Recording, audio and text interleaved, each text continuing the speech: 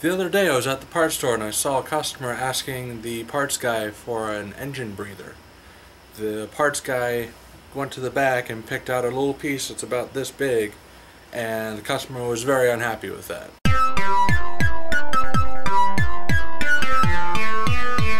What the customer was actually looking for was an air filter what the parts guy grabbed was an entirely different part because he went and grabbed the breather that the customer asked for. A breather or breather filter is a tiny piece that attaches to the engine that allows the crankcase to breathe.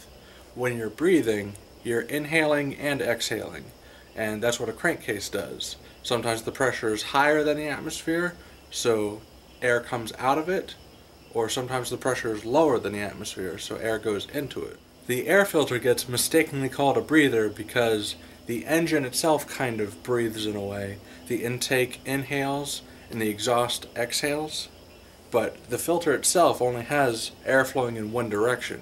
There's no breathing going on, there's no air going in and out of that filter. Air filters attach to the intake and breather filters usually attach to the valve cover, but there are other places on the engine block that it can attach to. An air filter is usually found inside of one of these big plastic boxes on the intake. A breather is usually a filter about this big. Hopefully this video saves you a lot of trouble next time you go to the auto parts store for an air filter or a breather, depending on what you need.